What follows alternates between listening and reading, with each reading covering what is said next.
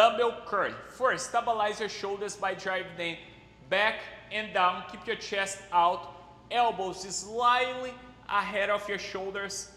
Bend your arms, control your way down. Do not allow your arms to hyperextend like this.